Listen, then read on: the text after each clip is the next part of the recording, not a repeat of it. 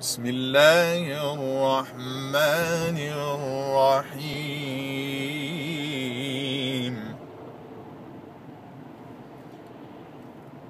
ويعلمه الكتاب والحكمة والتوراة والإنجيل.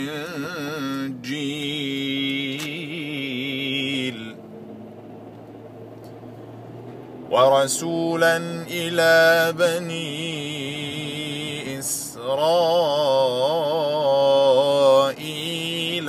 أني قد جئتكم بآية. أني قد جئتكم بآية من ربكم أني أخلق لكم من الطين كهيئة الطير.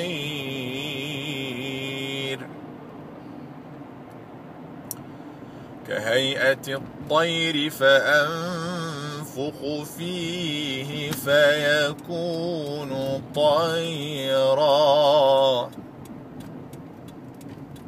فيكون طيرا بإذن الله.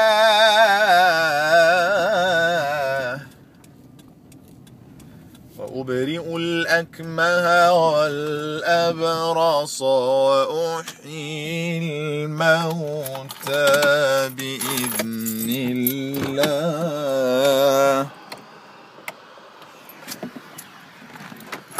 وأنبئكم بما تأكلون وما تدخرون في بيوتكم.